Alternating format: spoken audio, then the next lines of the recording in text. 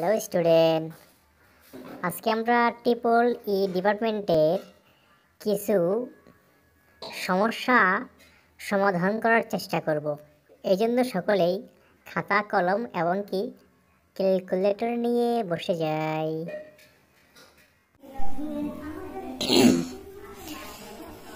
তো এরকম একটি circuit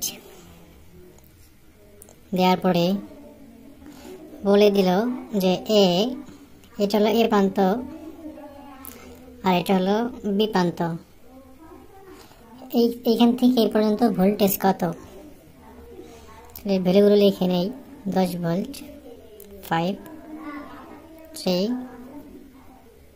eight volt three four হলো ফাইভ এম্পিয়ার তো এরকম সাইকেল দেওয়ার পরে বলে দিল যে ওয়ান এ থেকে বি পর্যন্ত এর মধ্যে ভুল ভোল্টেজ কত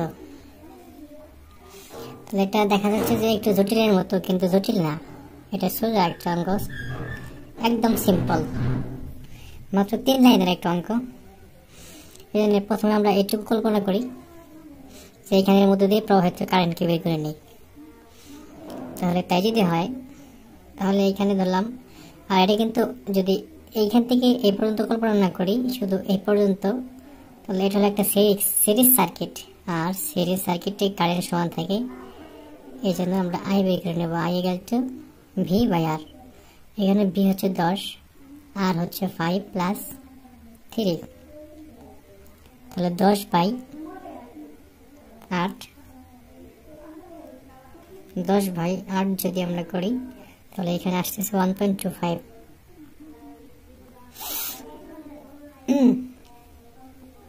তো তাহলে এখানে যে কারেন্ট প্রবাহিত হচ্ছে সেটা হলো one point two five ampere current এদিক দিয়ে প্রবাহিত হচ্ছে।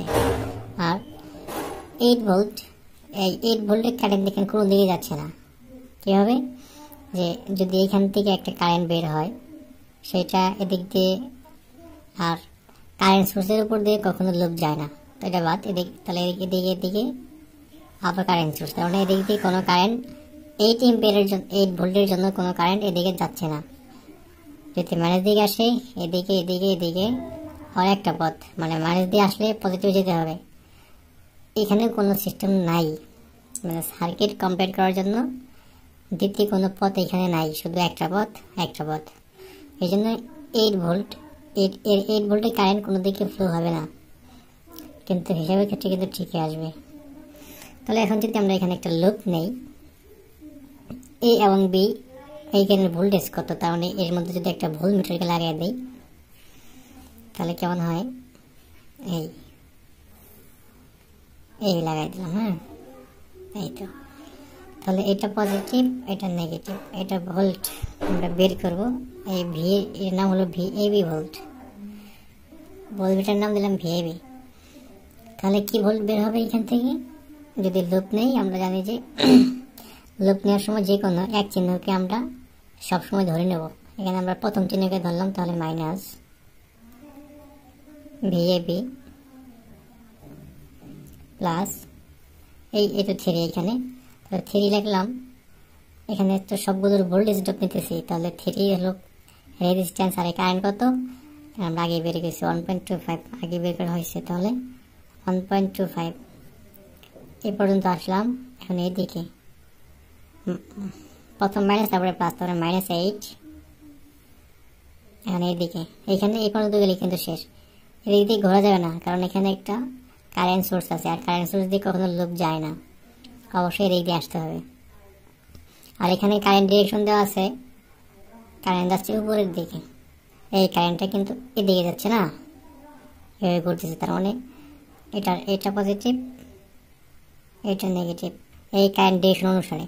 তাহলে এখানে মাইনাস থ্রি গুণন ফাইভ কারণ এই ফাইভ এমপের কারেন্ট তো সব জায়গায় মানে এই ফাইভ এমপের কারেন্ট এখানে ঘুরতেছে, তাই না? একাল জিরো তো এখন একে যদি এই সলভ ফাংশনের মাধ্যমে ক্যালকুলেটর দিয়ে করি, তাহলে একবারে মান চলে আসে এরকম। মাইনাস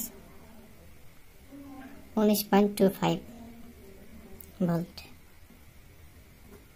এ হলো আনসার আর সলভ ফাংশনে কীভাবে করতে হয় সেটা আমরা আগে দেখিয়েছি। আর যদি কেউ না পারেন, তাহলে আপনারা দেখাই কোন ক্যালকুলেটর দিয়ে সব ফাংশন আপনারা করবেন। এই ক্যালকুলেটর দিয়ে করবেন। তাহলে এটা আমরা একটু মিলাই নেই, দেখি কীভাবে হয়। তো মাইনাস ভি এখানে তো ভি লেখা যাবে না। এখানে আছে শুধু মাইনাস এই যে আলফাবেট তারপর এক্স কোথায় আছে? এক্স হলো এই যে এক্স মানে এটা ভেঙে নিলাম হ্যাঁ? মাইনাস ভি প্লাস থ্রি গুণন one point two five one point two five minus eight minus three গুণন ফাইভ আলফাবেট সলভ এটা হলো ইকুয়াল দিলাম, এখন জিরো দিতে হবে। তারপরে shift solve answer equal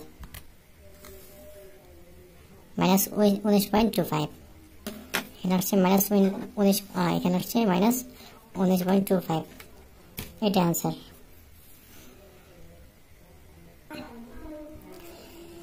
super position theorem এর মাধ্যমে এ বি এর মধ্যে দিয়ে কি পরিমাণ কারেন্ট প্রবাহিত হচ্ছে সেটা এখন আমরা নির্ণয় করব। তার মানে সিক্সের মধ্যে দিয়ে কি পরিমাণ কারেন্ট যাচ্ছে সেটা এখন নির্ণয় করব। কার মাধ্যমে? সুপার পজিশন এর মাধ্যমে। আর সুপার পজিশন তখনই অ্যাপ্লাই করতে হবে যখন একাধিক সোর্স থাকবে। যেমন এখানে একটা ভোল্টেজ সোর্স আছে আর এখানে একটা কারেন্ট সোর্স বিদ্যমান। এখানে দুইটা সোর্স আছে এই জন্য আমরা একটা একটা করে সোর্সকে অ্যাক্টিভ করব, আর এখানে উত্তরগুলো লিখব। এই জন্য যখন আমরা হ্যান ভোল্ট অ্যাক্টিভ যারা সুপার পজিশন করছিলেন আগে, তারা একটু বুঝতে পারবেন, যারা নতুন, তাদের জন্য করতেছি। হ্যান বিজ ভোল্ট অ্যাক্টিভ তাহলে বিশ ভোল্টকে যদি অ্যাক্টিভ করি, তাহলে এখানে কন্ডিশন হচ্ছে কি? যে একাধিক ভোল্টেজ সোর্স যদি আরও থাকে, তাহলে সেগুলোকে শর্ট করে দেবো, আর কারেন্ট সোর্স যদি থাকে, তাহলে সেগুলোকে ওপেন করে দেবো। তাহলে এখানে বিশ ভোল্ট তো একটাই মানে ভোল্টেজ সোর্স একটাই আর কারেন্ট সোর্স একটা তাহলে কারেন্ট সোর্সকে ওপেন করে দিই। সার্কিটটা হবে এরকম।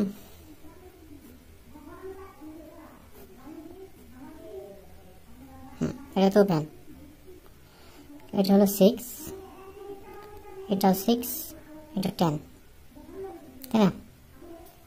সিক্স সিক্স টেন আর এটা হলো বিশ ভোল্ট।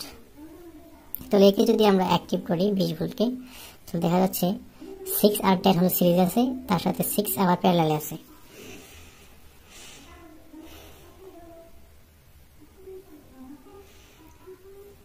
আর আরেকটা সিস্টেমে করা যায়, সেটা হলো যে আমরা যদি একবারে লিখে দিই, যে আই ডট দিলাম, এটা এই যে এইখান থেকে যে কারেন্টটা যাবে সেটাকে আই ডট এ বি প্রথম। আমরা জানি কি I to V by R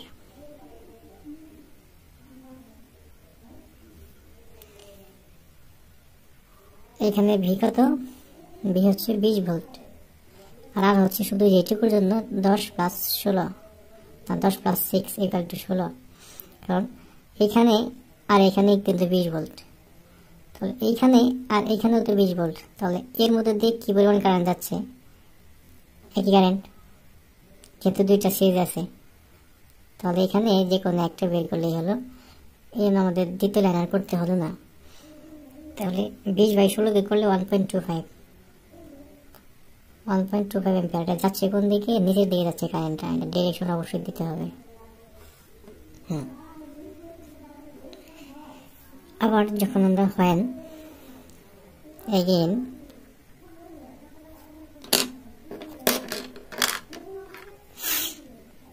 when 8 ampere active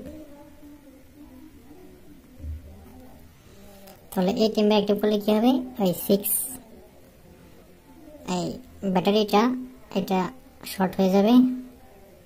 six এই সিক্স এই সিক্স এই 10 আবার এই 6 আর এই হলো 8 ampere 6 10 6 দেখেন, এই প্রান্ত আর এই প্রান্ত কিন্তু শর্ট তার মানে সিক্স এটা শর্ট আছে কি? আছে দশ আর ছয় দুইজনে আছে এখন প্যালালে এইট এম্পিয়ার হুম। তাহলে এটাকে করলে কীভাবে হয়? তাহলে যেহেতু আই প্রথমে একটা ডট দিচ্ছি এখন আই ডাবল ডট এবি এখানে তো এখন আমরা কারেন্ট ডিভাইডারের সূত্র বলাই দিই। আমরা জানি মোট কারেন্ট গুণন বিপরীত রেজিস্ট্যান্স সিক্স এবি তাহলে বিপরীত কোনটা? টেন টেন ভাগ হলো মোট রেজিস্ট্যান্স টেন প্লাস সিক্স তাহলে এখানে আসতেছে ফাইভ এম্পিয়ার কারেন্ট ডিরেকশন কোন দিকে? এই দিকে, উপর দিকে যাবে হ্যাঁ? এই এখানে এখানে। এদিকে এসে এদিকে এসে উপর দিকে যাবে। এই এইভাবে। তাহলে ফাইভ এম্পিয়ার হলো উপর দিকে। তো এটা নিচের দিকে এটা হ্যাঁ? এটা নিচের দিকে এটা উপরের দিকে, তাহলে দুইটা দুই দিয়ে যাচ্ছে।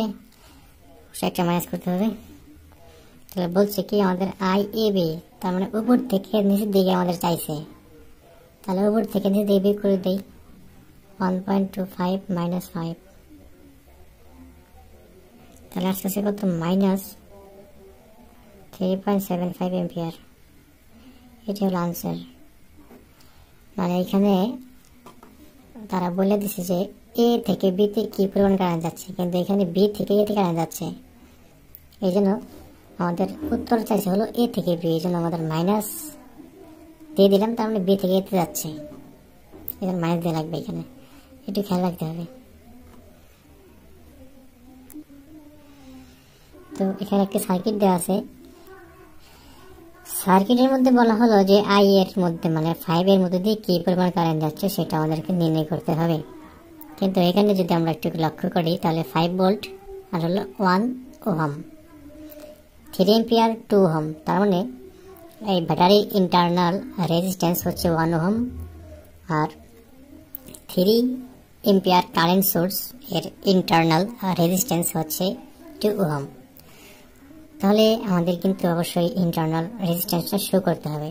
আর অবশ্যই আমাদের লক্ষ্য রাখতে হবে একটা বিষয়, তা হলো ওই ভোল্টেজ সোর্স এর ইন্টারনাল রেজিস্ট্যান্স সংযুক্ত হয় সিরিজে, আর কারেন্ট সোর্সের ইন্টারনাল রেজিস্ট্যান্স সংযুক্ত হয় প্যারালে।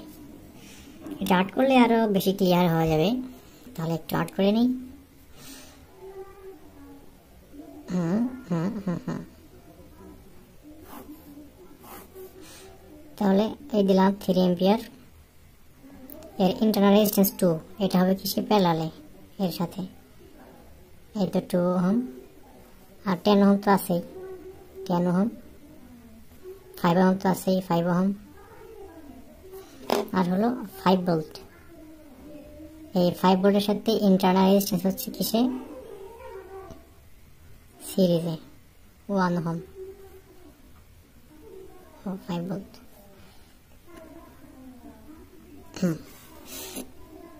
এই হলো বিষয়। এই পর্যন্ত যেহেতু আমরা আর্ট করতে পারি, তাহলে এখন অঙ্কটা হয়ে যাবে সুপার পজিশন থিওরামের মাধ্যমে।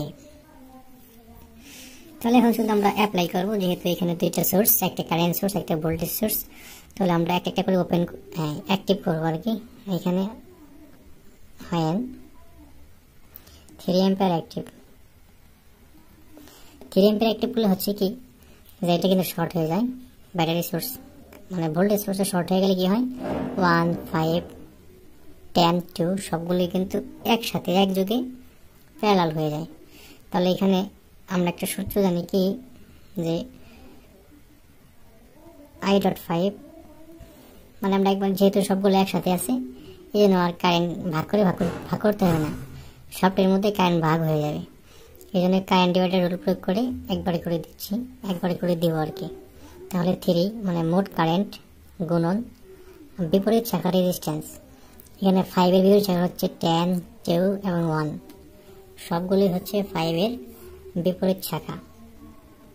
তাহলে এগুলো কি আছে? প্যারালে আছে। এই জন্য প্যারালালভাবে যোগ করতে হবে। এমনিতে যোগ করে দিলে কিন্তু হবে না। Two parallel ten parallel two parallel ten parallel one কারণ ফাইভ তো ফাইভ ফাইভ তো বের করতেছি এই জন্য আমরা এখানে ফাইভ লিখলাম না। আর হচ্ছে মোট রেজিস্ট্যান্স মোট রেজিস্ট্যান্স হচ্ছে ফাইভ হচ্ছে রেজিস্ট্যান্স ফাইভ লিখতে হবে এবং কি? Two parallel ten parallel one তাহলে এখানে ক্যালকুলেশন করলে যা আসে তা হলো ওয়ান বাই থ্রি এম্পিয়ার এটা কোন দিকে যাচ্ছে? নিচের দিকে যাচ্ছে। ডিরেকশন কিন্তু অবশ্যই দিতে হবে, সেটা আবার বললাম। এখন যদি আবার আমরা ফাইন ফাইভ ভোল্ট অ্যাক্টিভ করি ফাইন ফাইভ ভোল্ট অ্যাক্টিভ সিটটা কিন্তু আট করলাম না। কারণ এটা শর্ট হয়েছিল, এখন এটা ওপেন হয়ে যাবে, আর যা ঠিক তাই। তাহলে ফাইভ ভোল্ট অ্যাক্টিভ করলে এখানে কারেন্ট তো ভাগ হয়ে যায়, যেহেতু ওয়ানের ভিতরে একটা কারেন্ট যাবে এনে এনে এনে। মানে কারেন্ট বের করে নেয় জন্য আগে আমরা কারেন্টকে বের করে নিই। কারেন্ট বের করার জন্য যা করতে হবে আইটি মানে total current IT equal to V by R এখানে ভি হচ্ছে ফাইভ আর আর আর হচ্ছে কি যে এখানে টু টেন ফাইভ এগুলা আছে বেড়ালে তার সাথে সবার সাথে ওয়ান আছে সিরিজে এটা যারা বোঝেন না, তারা বুঝে নিয়ে কারণ এটা সিরিজ আছে, সবার সাথে এটি প্যারালাল আছে। যদি প্যারালাল এটা সিরিজ তাহলে হলো ওয়ান প্লাস যেহেতু সিরিজ আর সবগুলো প্যারালাল এই টেন কোনটা আর প্যারালাল কোনটা? এই। তাহলে five by one plus two parallel ten parallel five এখানে আসতেছে two point two two ampere এগুলো সম্পূর্ণ কারেন্ট এখন যদি আই ফাইভ বের করতে হয়, যেহেতু আমাদের বের করতেই বলছে আই ফাইভের কারেন্ট তাহলে আই প্রথমে একটা ডট দিয়েছিলাম, এখন আই ডাবল ডট ফাইভ এবার মোট কারেন্ট একই সূত্র। টু পয়েন্ট টু টু গুণন বিপরীত শাখা রেজিস্ট্যান্স বিপরীত শাখা কোনটা? টেন টু এবং টেন এবং টুই তো হয়। কারণ এই- এই- এই- এই- এই- এইটুকুর মধ্যেই তো হবে, এখন তো আর এখানে যাচ্ছি না আমরা। এখানে গেলে তো সোর্সের ভিতর দিয়ে ঘুরে আসতে হবে। তার মানে এই তিনটার মধ্যেই এই তিনটার মধ্যে হচ্ছে আমাদের ক্যালকুলেশন করতে হবে, তিনটাকে নিয়ে। তাহলে টু গুণন শাখা রেজিস্ট্যান্স শাখা এখানে হচ্ছে টু প্যারালাল টেন প্লাস হচ্ছে মোট রেজিস্ট্যান্স তার মধ্যে ফাইভ নিজে একটা রেজিস্ট্যান্স তার সাথে হলো two parallel ten equal to এইখানে যা আসে, তা হলো zero point five five five ampere এটা কিন্তু যাচ্ছে কোন দিকে? নিচের দিকে যাচ্ছে। এটা যাচ্ছে নিচের দিকে। তাহলে দুইটা কারেন্ট নিচের দিকে যাচ্ছে, তাহলে আমরা দুইটাকে যোগ করে দিতে পারি। অতএব I five equal to I dot five plus I double dot five তাহলে আসতেছে কত? One by three plus zero point five five five যোগ করলে যা হয়, তা হলো zero point eight eight nine ampere এই হলো আনসার তো একটা circuit two ampere four two এবং এর সাথে এইখানে একটা টু ওহামস বারো ভোল্ট এ বি এর মধ্যে সিক্স এর মধ্যে প্রবাহিত কারেন্ট কত? এটা অত্যন্ত একটা সোজা অঙ্ক যদি আমরা কেউ বুঝতে পারি। বোঝাও লাগবে না, শুধু দেখে দেখে আট করবেন। তাহলে একটু আট করে নিই। ওয়ান টু এম্পিয়ার অ্যাক্টিভ যেহেতু এখানে দুইটা সোর্স আছে, একটা কারেন্ট সোর্স একটা ভোল্টেজ সোর্স এই জন্য আমরা যখন টু এম্পিয়ার অ্যাক্টিভ করলাম, যখন টু এম্পিয়ার অ্যাক্টিভ করব, তখন এই তো টু এম্পিয়ার দিয়ে দিলাম। হুম হুম হুম। দেখেন, এর সাথে ফোর এবং টু তাই না? এভাবে যদি না বুঝি, তাহলে আরেকটু সহজ করে বুঝি। নেগেটিভ হুম। এখান থেকে এখান থেকে ফোর এদিকে লিখি সহজ করে। ফোর আরেকটা বের হয়েছে ফোর এই। একটা ফোর এই পর্যন্ত রাখলাম। আরেকটা ফোর এই পর্যন্ত রাখলাম। তো মানে একই বিন্দু থেকে, এই বিন্দু থেকে ফোর এখানে গেছে, আরেকটা ফোর এখানে গেছে। তাহলে এই বিন্দু থেকে আরেকটা ফোর এখানে দিলাম। ফোর ফোর তাহলে দেখা যায় কি? যে এটা তো শর্ট হয়ে যাবে, তাই না? কারেন্ট সোর্স অ্যাক্টিভ করলে ভোল্টেজ সোর্সগুলো শর্ট হয়ে যায়। যদি শর্ট হয়ে যায়, তাহলে এ পর্যন্ত শর্ট হলেও সেই শর্টের সাথে আরেকটা নেগেটিভের সাথে কত লাগবে? টু লাগবে। এখানে ধরলাম শর্ট হলো, এখান থেকে টু লাগল। টু হুম। আবার এই ফোরের মাথা থেকে নেগেটিভ প্রান্তে সিক্স লাগল। এখান থেকে সিক্স লাগল। আর দেখেন সিক্সের এক মাথা টু এর এক মাথা কি একসাথে লাগানো? টু এক মাথা সিক্স এক মাথা একসাথে লাগানো। আর সিক্সের মাথা আর টু এর মাথা শর্ট এই শর্ট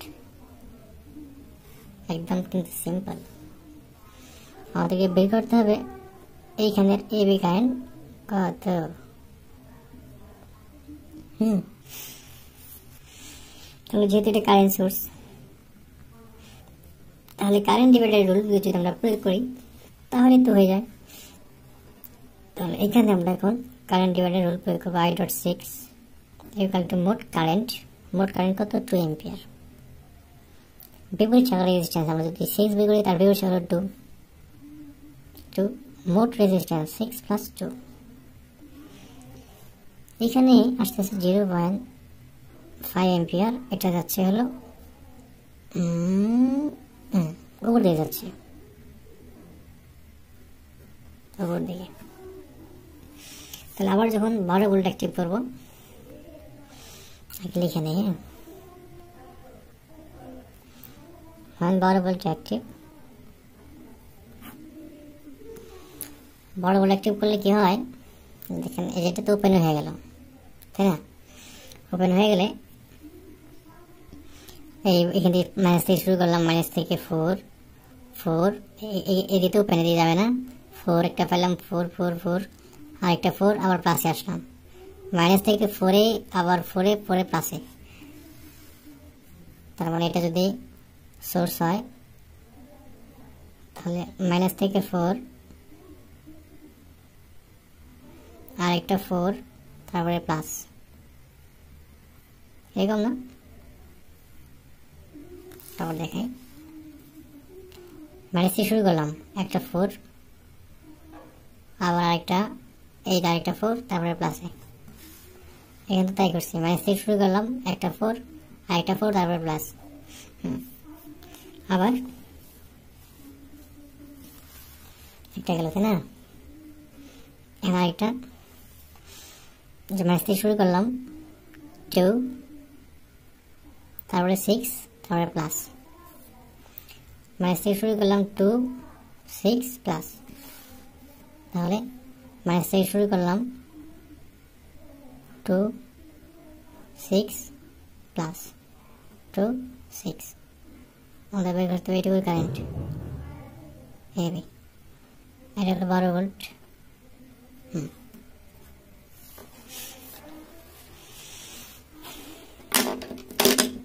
তাহলে এখানে যদি আমরা এই কারেন্ট ডিভাইডার রুল প্রয়োগ করি। আই ডাবল ডট সিক্স মানে এখানে বারো ভোল্ট সেহেতু এইখানে বারো ভোল্ট তাহলে আমরা একবারে ভোল্টেজ দিয়ে অ্যাপ্লাই করতে পারি। তাহলে আই করতে ভি বাই আর ভি কত? বারো। আর কত? সিক্স আর টু যেহেতু দুটো একসাথে আছে সিরিজে তাহলে এইট বারো ভাগ এইট করলে যা হয়, তাহলে ওয়ান পয়েন্ট ফাইভ এমপিয়ার যাচ্ছে কোন দিকে? নিচের দিকে। প্রথমটা ছিল উপরের দিকে, এটা যাচ্ছে নিচের দিকে। তাহলে ম্যানেজ করতে হবে অবশ্যই। কিন্তু চাইছে কি আমার? এ বি তার মানে কি উপর থেকে নিচের দিকে চাইছে? তাহলে উপর থেকে নিচের দিকে, তাহলে অতএব সিক্স লিখতে পারি অথবা এবি লিখতে পারি। আই এবি লিখি আমরা হ্যাঁ? আই এবি তাহলে হলো উপর থেকে নিচের দিকে, তাহলে ওয়ান পয়েন্ট ফাইভ আগে লিখব। তারপরে হলো নিচের দিকে না, নিচের দিকে উপর দিকে কত? জিরো পয়েন্ট ফাইভ মাইনাস করে দেব। তাহলে আসতেছে কত? ওয়ান এম্পিয়ার এই আনসার তো এই সার্কিটের ভিজি ইকুয়াল কত? বের করতে হবে। তাহলে এখানে সোর্স আছে তিনটা। ফাইভ পনেরো volt two point five ampere এবং হলো বারো ভোল্ট এটা হলো বারো ভোল্ট তাহলে এই সোর্সগুলোকে অ্যাক্টিভ করব, এমনকি আরগুলোকে শর্ট এবং ওপেন করে দেব। তাহলে আমরা যখন হয়, পনেরো ভোল্টকে অ্যাক্টিভ করব। পনেরো ভোল্ট অ্যাক্টিভ পনেরো ভোল্ট অ্যাক্টিভ করলে কী হবে? এটা ওপেন এদিকে তো ওপেনই তাহলে চল্লিশ এবং টেন থাকবে সার্কিট কমপ্লিট করবে এর মাধ্যমে, আর ওগুলো ওপেন কারণ এদিকে তো যাবে না, কিছু নাই, আর এ তো ওপেনই হয়ে যাবে। তাহলে অ্যাক্টিভ করলে কি হয়? এখানে আর আমাদেরকে লোপ নেওয়ার জন্য যদি আমরা এখানে বোল্ট বের করতে চাই, তাহলে লোপ নিতে হবে। এদিক দিয়ে লোপ নিতে পারব, আবার এদিক দিয়েও লোপ নিতে পারব। তাহলে এদিক দিয়ে লোপ যদি নেই ওভারঅল তাহলে চল্লিশ এবং টেন দুইটা কারেন্ট বের করতে হবে। আর যদি শুধু আমরা, শুধু যদি আমরা এই টেন দিয়ে নিই, তাহলে শুধু এই টেনের কারেন্টটা বের করলে চলবে। তাহলে আমরা লোপটা নেব টেন দিয়ে। এটাকে ফিক্সড করতে হবে। কার মাধ্যমে লোপ নেব? তাহলে আমরা আই টেন বের করে নিই আই টেন ডট তাহলে যেহেতু এখানে সব সমান কারেন্ট তো সমানই যাবে তাই না? একটা শেষ পথ, এদিকে কারেন্ট যাচ্ছে না ইকাল টু ভি আর। পনেরো ভাগ হচ্ছে আর চল্লিশ প্লাস টেন ইকাল টু পঞ্চাশ, তাই না? তাহলে পনেরো ভাগ পঞ্চাশ equal to zero point three ampere এটা কারেন্টটা যাচ্ছে নিচের দিকে। আবার যখন two point five ampere active করব। Two point five ampere active এখানে তখন কি হয়? যে এটা শর্ট হয়ে গেল, তার মধ্যে চল্লিশ এবং টেন দুইটা প্যারালাল আছে। আর এদিকে কোনো কারেন্টই যাচ্ছে না। আর এদিকে তো ওপেন টেন কোন দিকে যাবে? তাহলে আবার আই ডাবলটা টেন যদি বের করি, তাহলে হলো মোট কারেন্ট কারেন্ট ডিভাইডার রোল মোট কারেন্ট কোন চার রেজিস্ট্যান্স শাখা কিন্তু দুইটা, এদিকে ওপেন আর টেন এবং হলো দুটো শাখা। যদি টেন বের করি, তার হলো চল্লিশ।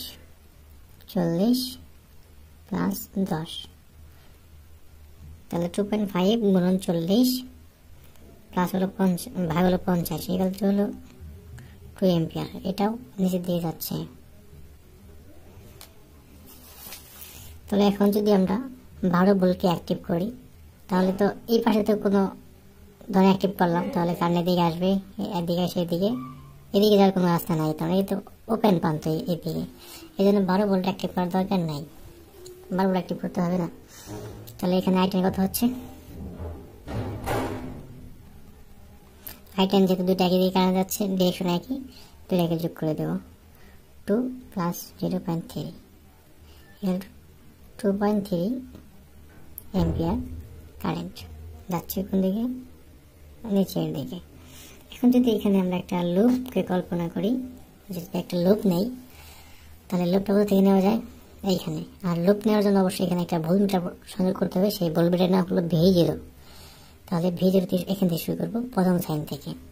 প্লাস ভি জিরো এখন কিন্তু কাউন্ট করতে হবে ঠিকই। মাইনাস বারো। আচ্ছা। আচ্ছা প্লাস ভি জিরো মাইনাস বারো। আর এই এই ফোরের মধ্যে দিয়ে কোনো কারেন্ট প্রবাহিত হয় না, যেহেতু এদিক দিয়ে কোনো সার্কিট কমপ্লিট হয় নাই, এতে ঘুরবে। এই জন্য ফোর জিরো লিখতে হবে না কিছুই প্লাস টেন গুণন টু পয়েন্ট থ্রি টেন গুণন টু পয়েন্ট থ্রি আর কেউ নাই ইকুয়াল জিরো অতএব ভিডিও ইকুয়াল টু ক্যালকুলেটরে সলভ ফাংশনের মধ্যে গিয়ে আমরা এটা করতে পারি, তাহলে বিজুরির মান আসে মাইনাস এগারো ভোল্ট হুম, এই পর্যন্তই। তো এটা সার্কিটটা দিয়ে বলল যে ভিজ ইকুয়াল টু কত? ওইটার মতোই কিন্তু জাস্ট একটু চেঞ্জ এখানে ভিজের ইকুয়াল টু কত? আবার এখানে ভিজের সোর্সটা দিয়ে দেয়নি। কত ভোল্টের এই জন্য আমাদেরকে সোর্সও কিন্তু বের করে নিতে হবে এখান থেকেই। আর এখানের ওই ভিজ ভোল্ট এটা কিন্তু সোর্স না, এটা হলো এখানের ভোল্টেজ তো এটা এখানে যে কথা, এখানে এই কথা। কারণ এটা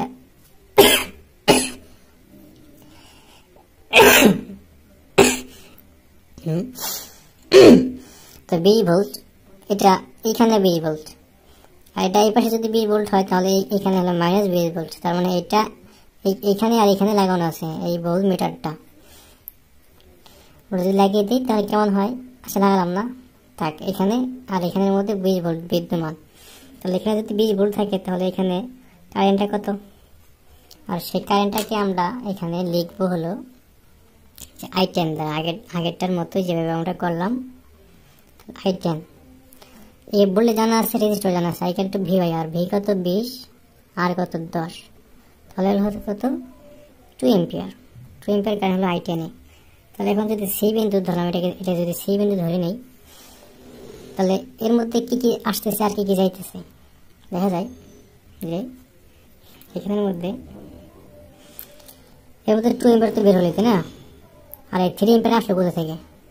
এই এদিক দিয়ে? না, এদিক থেকে টু এম্পার আসতেছে। তার মানে এটা এই সোর্স হয়ে তারপরে এখানে আসে থ্রি এম্পিয়ার তার মানে এইখান দিয়ে যাচ্ছে হলো থ্রি প্লাস টু এটা এদিক দিয়ে যাচ্ছে তার মানে আই চল্লিশের বিরুদ্ধে কারেন্ট যাচ্ছে হলো থ্রি প্লাস টু এম্পিয়ার তাহলে এখানে আমরা সেই সুবাদে এখানে দেখতে পারি যে সি বিন্দু কারেন্ট হচ্ছে অর্থাৎ আই চল্লিশের কারেন্ট আই চল্লিশের কারেন্ট হচ্ছে কত? টু প্লাস থ্রি এবার হচ্ছে five ampere five ampere current যাচ্ছে। তাহলে এখন যদি আমরা সাপ্লাই ভোল্টকে বের করতে চাই, তাহলে যেভাবে বের করব সেটা হলো এইভাবে যে এইখানের ভোল্টেজ ড্রপ আর এইখানের ভোল্টেজ ড্রপ দুটাকে যদি যোগ করে দিই, তাহলে তো আমাদের সাপ্লাই ভোল্টেজটা বের হয়ে যায়। কারণ এইখানে ভোল্টেজ সমান তো দুই জায়গার ভোল্টেজ ড্রপের সমান। হুম। তাহলে হতো F VS equal to V চল্লিশ প্লাস ভি টেন ভি চল্লিশ ইকুয়াল টু কত? চল্লিশ গুণন আমাদেরকে V equal to I R I হচ্ছে ফাইভ আর হচ্ছে চল্লিশ প্লাস হচ্ছে আই আর আর টেন এটি ভোল্টেজ তো দেওয়া আছে বিশ ভোল্ট তাহলে হচ্ছে গিয়া যে চার হাজার বিশ, আর একটা শূন্য, এই শূন্য, আর হলো প্লাস হলো বিশ। হলো দুইশো বিশ ভোল্ট তাহলে বিএস ইকাল টু কত? দুইশো বিশ ভোল্ট সেটা কিন্তু আমরা এখন পেয়ে গেলাম। তাহলে এখন যদি আমরা একটা লুপ নেই, আর এখানে কারেন্ট তো আমরা পেয়ে গেছি, তাই না? এখান থেকে যাচ্ছে হলো টু এম্পিয়ার কারেন্ট তো এখান থেকে যদি আমরা লুপ নেই, তাহলে মাইনাস ভি জিরো মাইনাস, ও এটা তো বারো ভোল্ট দেওয়া হয় না না? বারো ভোল্ট এটা। তাহলে বারো ভোল্ট এখানে কোনো ড্রপ হবে না। টেনে আসলাম প্লাস প্লাস টেন গুণন টু ইকুয়াল জিরো হুম? তাহলে ক্যালকুলেটারে সলভ ফাংশনে গিয়ে যদি আমরা করি, তাহলে আসে ভি জিরো ইকুয়াল তো দেখাই যায় তো? দশ দুগুণে বিশ মাইনাসের বারো হলো আট। এটা এই পাশে যদি চলে যায়, তাহলে হয়ে যাবে আট, যে থেকে মাইনাস ছিল। আট ভোল্ট এই হলো আনসার তো যদি এরকম বলা থাকে যে থ্যাবলিন থিওরেম থ্যাবলিন থিওরেম ব্যবহার করে আইয়ের মান বাহির করুন বা আইয়ের মান বাহির করো। তাহলে এখানে থ্যাবলিন থিওরেম বলা হয়েছে এইখানে। টেন ওহমের মধ্যে দিয়ে যে কারেন্টটা যাচ্ছে সেটা এখন বের করতে হবে কার মাধ্যমে? থ্যাবলিন থিওরেমের মাধ্যমে। তাহলে থ্যাবলিন থিওরেমের ক্ষেত্রে কিছু কিছু জিনিস বের করতে হয়, যেমন আর এল আর টিএইচ ভিটিএইচ এগুলো বের করতে হয়। আর এখানে আর এলটা হচ্ছে এইটাই আর এল ইকাল টু যেটা দেওয়া থাকবে টেন ওহম তাহলে আমরা আর এল বের করলে পেলাম আর এল হলো টেন ওহম আর হলো যে, যেই যেই রেজিস্টরের মধ্যে দিয়ে কারেন্টকে বের করতে বলা হয়েছে, সেইটাকে আমরা খুলে ফেলব। তাহলে যদি এখন আমরা খুলে ফেলি, তাহলে জিনিসটা কেমন হয়? আর খুলে ফেলে ভোল্টেজ সোর্সগুলোকে শর্ট করে দেবো আর কারেন্ট সোর্সগুলোকে ওপেন করে দেবো। তাহলে এটা শর্ট এরকম হচ্ছে না আর টিএস আর টিএস মানে থ্যাপনিনের রেজিস্টার থ্যাপনিনের রেজিস্টার বের করার জন্য তিরিশ, পাঁচ, বিশ। তাহলে এখানে আর টিএস আসতেছে কত? আর টিএস এখানটা দেখেন বিশ আর তিরিশ আছে দুইটা প্যারালে হুম হুম। তাহলে বিশ প্যারালাল তিরিশ পাঁচ হচ্ছে ফাইভ বিশ প্যারালাল তিরিশ পাঁচ হচ্ছে ফাইভ তাহলে বিশ আর তিরিশ করলে হয় এত? হুম। বিশ আর তিরিশ কত হয়? বারো হয় নাকি? সম্ভবত বারো আচ্ছা বারো আর পাশে হলো সতেরো। দেখি কি বিশ, পাঁচ তিরিশ। হুম, বারো, পাঁচ ফাইভ কিন্তু সতেরো। আস্তে আস্তে সতেরো হামস আট শেষ। হুম, এখন ভিটিএইচ তাহলে আমরা প্রথম কী কী বলছিলাম, কী কী বের করতে হবে? আর এল আর আরটিএইচ ভিটিএইচ আর এল আরটিএইচ বের করলাম এখন ভিটিএইচ বের করব। ভিটিএইচ নেওয়ার জন্য সেই আগের মতোই এখানে ভোল্টেজ সুইচটা দেওয়া লাগবে।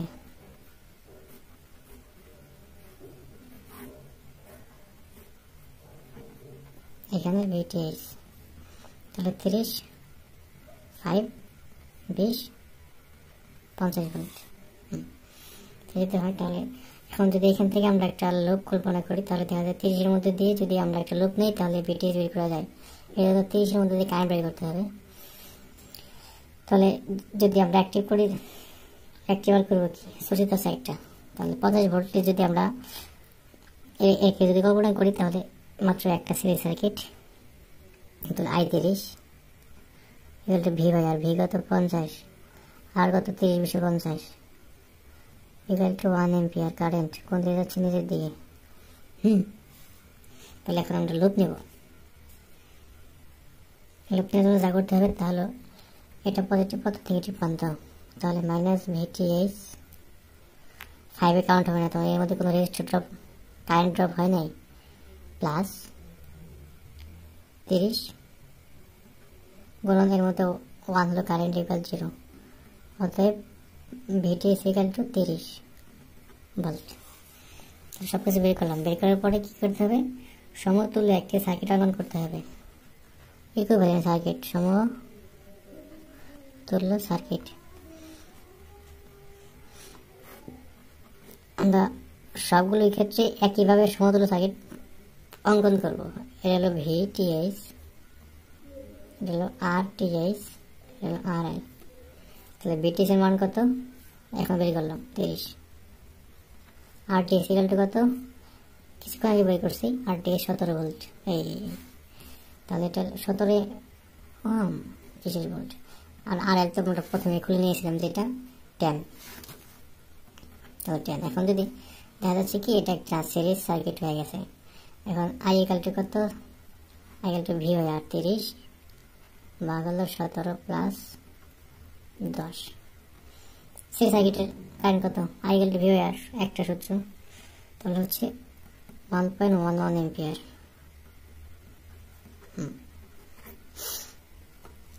system কিন্তু এই পর্যন্তই, কিন্তু দেখে মনে হয় জটিল।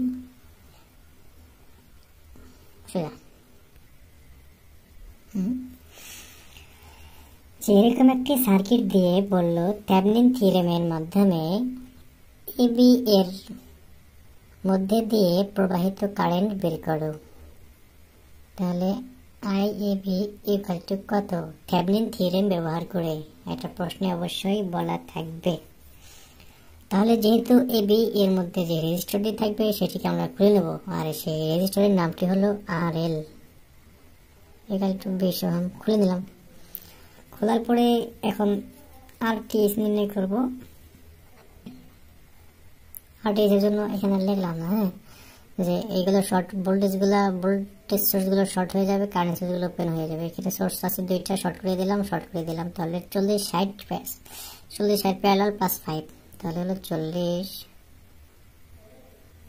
ষাট প্লাস হলো ফাইভ তাহলে হলো চল্লিশ ষাট parallel plus five equal to উনত্রিশ। উনত্রিশ রমস হুম এখন আমরা বিটিএস বের করব। আর বিটিএস বের করার জন্য অবশ্যই কার্ড নিতে হবে। আর এখানে তো কারেন্টের জন্য সিস্টেম একটা। এটা যদি সেটিটা ওপেন করে দিয়েছি বলে বলে কাল্পনিকভাবে এটা ওপেন করলে এই একশো বিশ ভোল্ট এটা অ্যাক্টিভ হলেও কাজ করবে না। তাহলে অ্যাক্টিভ হচ্ছে শুধু একটা দুইশো ভোল্ট।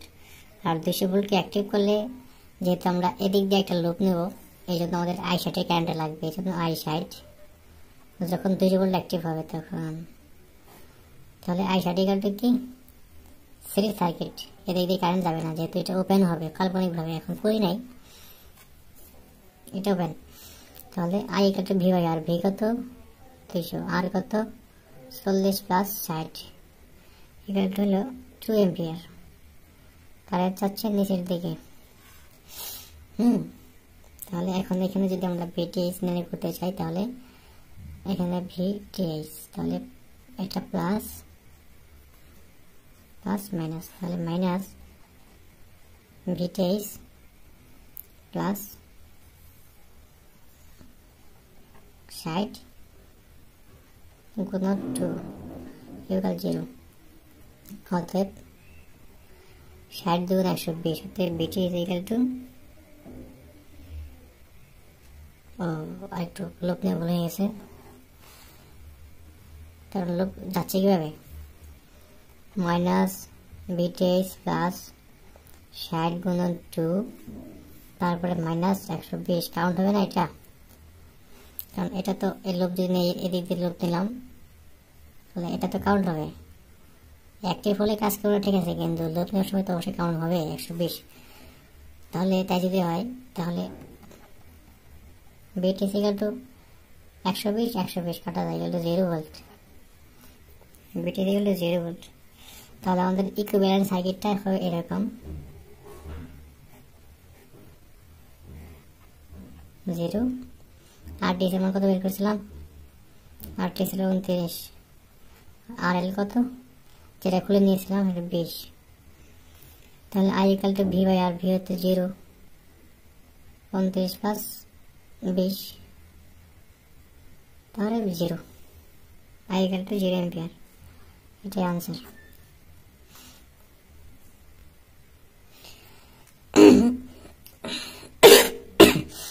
তো থ্যাপদিন থিওরেমের মাধ্যমে ওয়ানের মধ্যে দিয়ে প্রবাহিত কারেন্ট কত? সেটা এখন বের করতে হবে। যেহেতু থ্যাপদিন থিওরেম বলে দিয়েছে অবশ্যই। এখানে আর এল আর টি ভিটিএস বের করতে হবে। R L equal to one ohm আর আমরা যেহেতু থ্যাবদিন করতেছি, তাহলে অবশ্যই ওয়ান ওহমকে খুলে ফেলতে হবে। আর ওয়ান ওহমকে যদি খুলে ফেলি, তাহলে এটা শর্ট হয়ে যাবে, এটা ওপেন হয়ে যাবে। তাহলে হলো আট আর চারে আট আর চার হয়ে যাবে সিরিজ তার সাথে ফোর হলো প্যারালাল প্লাস হলো সিক্স সিরিজ তাহলে আর টি সিকেল কত হবে? আর টি সিকেল হবে আট আর চার হলো বারো। বারোর সাথে ফোর প্যারালাল প্লাস হচ্ছে সিক্স বারো চার তিন, তাহলে তিন চারে বারো হলে তিন প্লাস ছয় এগারো নয়। নয় হন হুম। তারপর এখন যদি আমরা চব্বিশ ভোল্টকে অ্যাক্টিভ করে দিই হয় চব্বিশ ভোল্ট অ্যাক্টিভ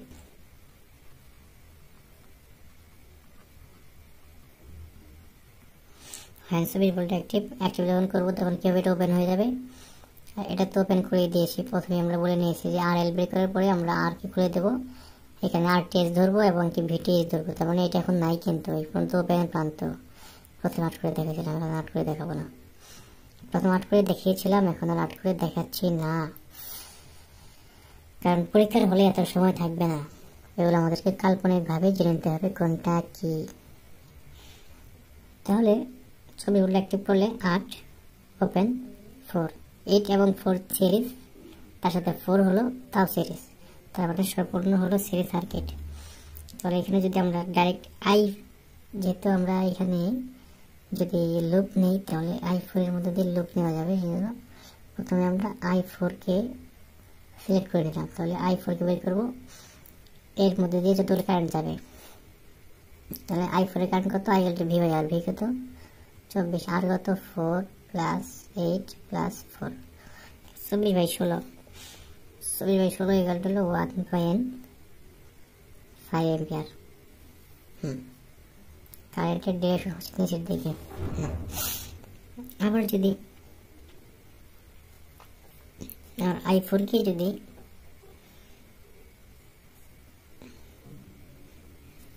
আমরা যদি টু এম্পিয়ারকে অ্যাক্টিভ করি। তাহলে দেখা যায় কি, যে এখানে এদিক দিয়ে এসে এদিকে, এদিক দিয়ে এসে এদিকে। তার মানে দুইটা পথ এখানে খোলা হইতেছে। তাহলে one two ampere active two ampere active করলে হয়েছে কি এদিকে তো ওপেন যাবে না। এইট এবং ফোর আর হলো ফোর তাহলে আমরা জানি I double dot four equal to eight গুণ বিবেচ রেজিস্ট্যান্স কত? আট আট চারে বারো। বারো বারো প্লাস ফোর মোট রেজিস্ট্যান্স লাস্ট হুম আসতেছে হলো ওয়ান পয়েন্ট ফাইভ এখানে তাই আসতেছে ওয়ান পয়েন্ট ফাইভ এম্পিয়ার এটা কোন দিকে? নিচের দিকে। One point five one point five দুটো যদি নিচের দিকে তাহলে এখানে কারেন্টটা কী হবে? I four equal to one point five plus one point five equal to three ampere current যাচ্ছে নিচের দিকে। এখন যদি আমরা এখানে একটা লুপ নেই, এখন এখানে দিলাম ভিটিএইচ প্লাস মাইনাস তাহলে এখান থেকে লুপ এদিকে আসবে। তাহলে মাইনাসের ভি টিএইচ প্লাস হচ্ছে ফোর গুণন এই থ্রি না বুঝলে আবার বলে দেখেন এই এই ভিটিএইচ সিক্সে কোনো কারেন্ট ড্রপ করে নাই কারেন্ট পায় নাই বলে জমা নাই। এই ফোর কারণ এদিকে যাচ্ছে, তাহলে ফোর গুণন কারেন্ট কত কারেন্ট বের করছে? থ্রি এম্পিয়ার ফোর গুণন থ্রি শেষ।